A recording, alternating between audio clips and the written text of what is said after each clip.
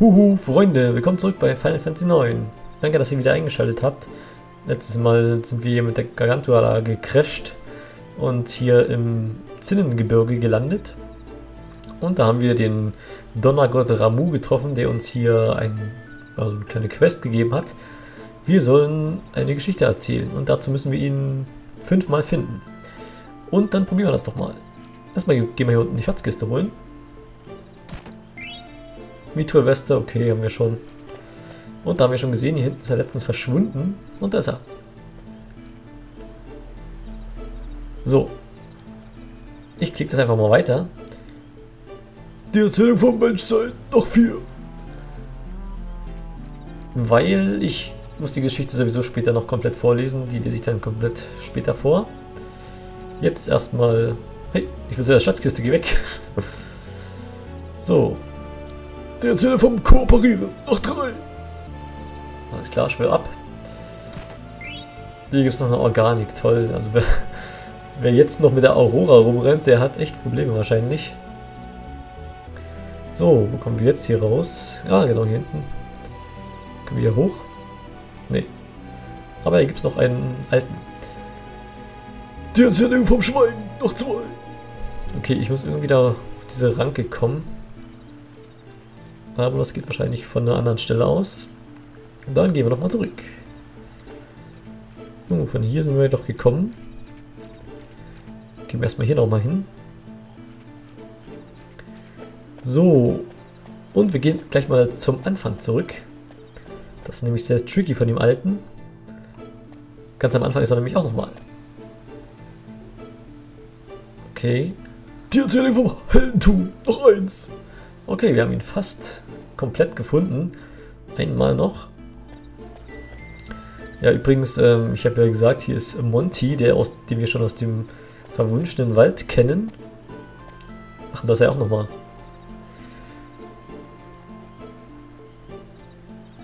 Die Erzählung vom Anfang. Somit ist die Geschichte vollständig. Gut. Können wir dann die, den Bereich dann schon verlassen? Denn dann müssen wir eben die Geschichte erzählen. So. Ich glaube, ich gehe jetzt erstmal hier runter. Ja, nicht nur, dass hier Monty aus dem verwunschenen Wald ist, sondern hier ist auch die Musik von verwunschenen Wald, falls ihr das gehört habt.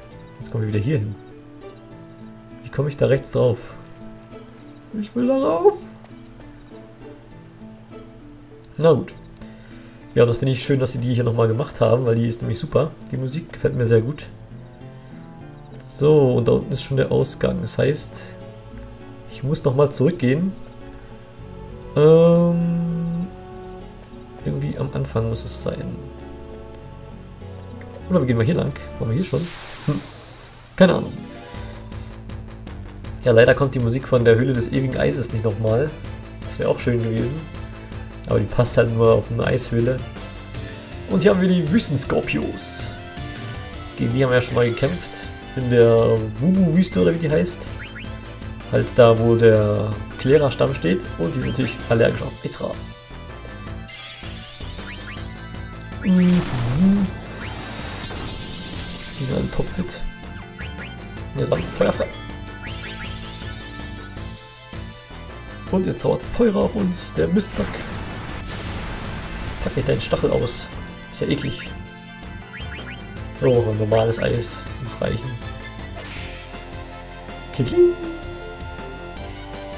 Ja, ich, ähm... Oh. Oh, bloß gut, wir haben nicht Gift und Galle angelegt.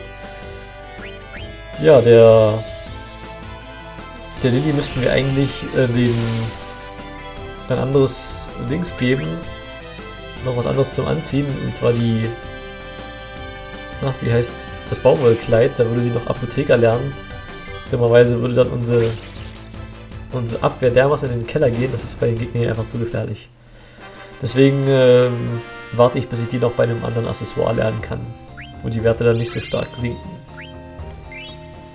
Uh, das war ja reiche Ausbeute an Items. So, wir gehen nochmal hier zurück. Wo habe ich jetzt hier da was übersehen? Da hinten geht es doch runter. Komme ich da irgendwo lang? Hm, irgendwie nicht.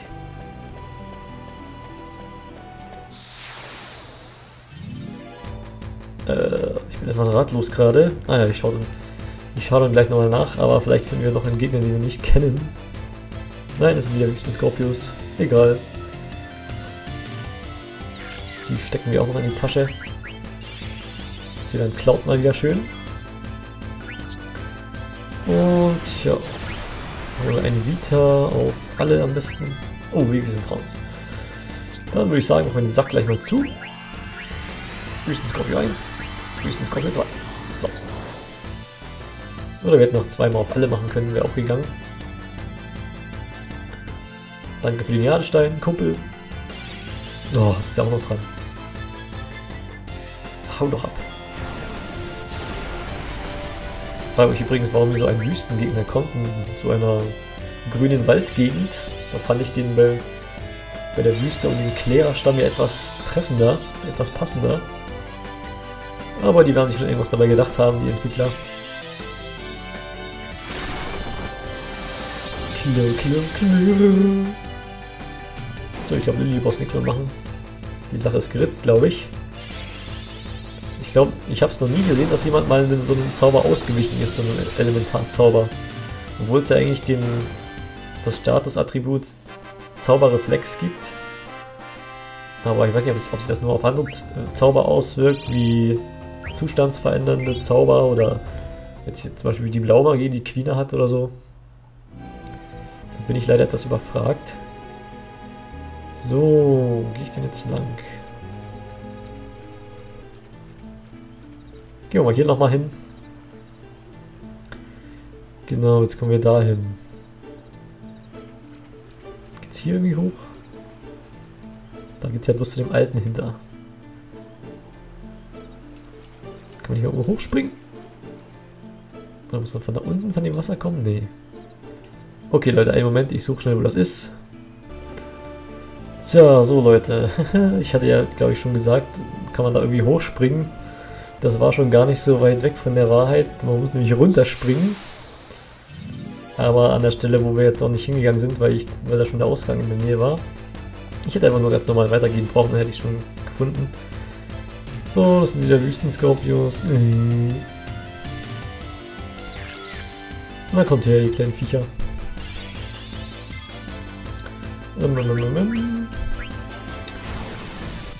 Okay, gleich mal auf sie down. Gleich wieder wegheilen, deinen bösen Schaden. Ich mache mal Eis rauf beide, mal sehen, ob das reicht. Ich glaube aber nicht.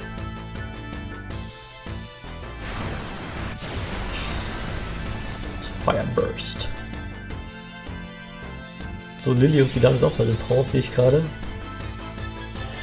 Hatte ich, hatte ich euch jetzt mittlerweile die Gezeitenflamme gezeigt von Zidane? Ich glaube schon, ne? Aber wir haben ja schon wieder andere Fähigkeiten da bekommen. Und was mir auch auffällt, wie lange wir die Organik jetzt schon haben. Die haben wir ja schon seit wir in Lindblumen Schmieden waren. Auf CD1 war das ja schon. Jetzt sind wir schon ziemlich weit in CD2 fortgeschritten. Aber keine Bange, es gibt noch genug Schwerter für, für den guten Zidan. Sehr gut, Lilly, du hast einen besiegt. Mit deinem Prügelknaben. Mit deinem Schießprügel. Und das war's für dich. Und tschüss. Vivi, freu dich doch mal. Du hast einen besiegt. Lass dich nicht so hängen. Da sagt man, wann lerne ich denn mal wieder ein paar neue Abilities hier? Das geht mir ziemlich auf die Nerven. Ich will lernen. So. Ah, der nächste. Okay, wenn das wieder ein Wüstenskorpio oder so ist, dann schneide ich es raus. So, das war ein Zackner. Den haben wir schon gesehen. Natürlich kam jetzt die Trance von Sidan. Wunderschön. So, und wir haben diesmal was Neues gelernt. Äh, lasst mich kurz wir müssen bei Sidan ein anderes Accessoire ausrüsten. Zauberstiefel, ja gut. Nehmen wir die Zauberstiefel mal. Oh, Hermesstiefel auch bald fertig. So, und der Reflektring braucht immer noch eine Weile, den braucht Sidan ja dann auch. Und wir haben hier Levitas fertig gelernt. Das können wir uns auch noch kurz anschauen. Was macht Levitas eigentlich? Haben wir es? Ach ja, Reflekt übrigens. Reflektiert Zauber. Genau. Und das Levitas Zielobjekt schwebt. Ja, das macht man normalerweise auf sich selbst, um sich zu schützen vor Erdattacken. So, hier, geht, hier geht's lang. Zack, zack, zack, zack. Und jetzt können wir hier runterspringen. So geht das. Hatte ich vergessen. ich musste nochmal nachschauen. Okay, jo, rüberspringen. Und ich hoffe, das ist ein, ein toller Schatz. Wie Trillarmreif. Na super. Dafür der ganze Aufriss. Okay, jetzt müssen wir wieder dahin, wo wir hergekommen waren. Hier hoch geht's. So, und ich will euch den einen Gegner noch zeigen, der hier kommt. Und äh, dazu suche ich jetzt mal ein bisschen, also bis gleich.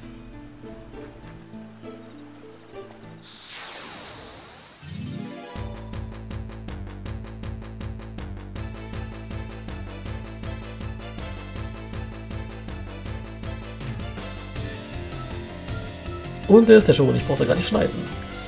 Das sind Vampire. So. Ach, ich habe nur noch nicht Hater verteilt. So, neben ihrem Gekratze, was äh, mich herzlich wenig juckt, haben die noch eine andere Fähigkeit. Und zwar, wie man es für einen Vampir genau merken würde oder, oder annehmen würde, können sie Blut saugen. Aber das, das ist nicht genug, das hat ja jetzt ziemlich wenig Schaden gemacht. Sie haben aber noch den Zauber mehr Blut und noch mehr Blut. Und die, also mehr Blut macht viel mehr Schaden als Blutsaugen. Und dann gibt es noch, noch mehr Blut, das könnte uns sogar mit einem Schlag umhauen. Mal sehen, ob wir das sehen. Ich mache mal Analyse auf einen von denen. Ja, und natürlich heilen sie sich immer hoch, wenn sie Blut saugen. So wie wir, wenn wir unseren Zauber saugen machen. Britzel, Britzel, Britzel. Und für die vier habe ich Tontauben angelegt. Damit sie dann ein bisschen mehr Schaden hier macht bei denen. Scanning, Scanning, Scanning. Level 12. so eine Lusche. Kann fliegen. Yay. Feuerelement anfällig. Oh, Windelement anfällig. Tja, mit Wind kann ich dir leider nicht dienen, aber mit Feuer kann ich dir dienen. Machen wir mal normales Feuer. Geben wir noch eine Chance. Ach, er macht hier das normale Blutsaugen. Naja. Dann nicht. Okay, eine Chance gebe ich, gebe ich dir doch trotzdem noch. Zeig's mir, zeig's mir, zeig's mir. Nein, die scheint nicht stark. Mehr Blut. Oh, das ist die Level 2 Attacke. Ja, die macht schon mehr Schaden, aber jetzt reicht mit dir. Zack, Feuer auf dich. Lange genug gespielt. Jetzt machen wir ernst. Und tschüss, das war's mit dir. Du böses Tier. Besorg dir dein eigenes Blut. Sind hier nicht deine Fressfarm. Und immer hast fertig. Okay. Das kann ich dann gleich ausrüsten. Oder umrüsten, aber das mache ich dann ohne euch. Jetzt gehen wir mal zum Ausgang hier. Das Ramu wieder. Was ist dir also gelungen, alle zu finden? Jetzt erzähle mir die Geschichte. Aber Vorsicht, die Geschichte besteht in Wirklichkeit aus vier Kapiteln. Ein Kapitel ist falsch, sei also vorsichtig, welches, welches du wählst. Okay. Ja, und diese Geschichte ist übrigens die Story von Final Fantasy 2. Was ich leider noch nicht gespielt habe. So, mal schauen. So, also das kommt mit Sicherheit, mit Sicherheit am Schluss hier, oder? Anfang? Nein, natürlich als erstes. Als erstes Anfang. So, dann Rückweg, dazu muss man erstmal hingehen. Und das ist das hier. Kooperieren. Dann kommt Schweigen. Und dann kommt eins der beiden Enden. Ich werde euch beide Enden zeigen. Ich mache an der Stelle mal einen Save State, einen Moment. So, als erstes nehme ich mal Heldentum.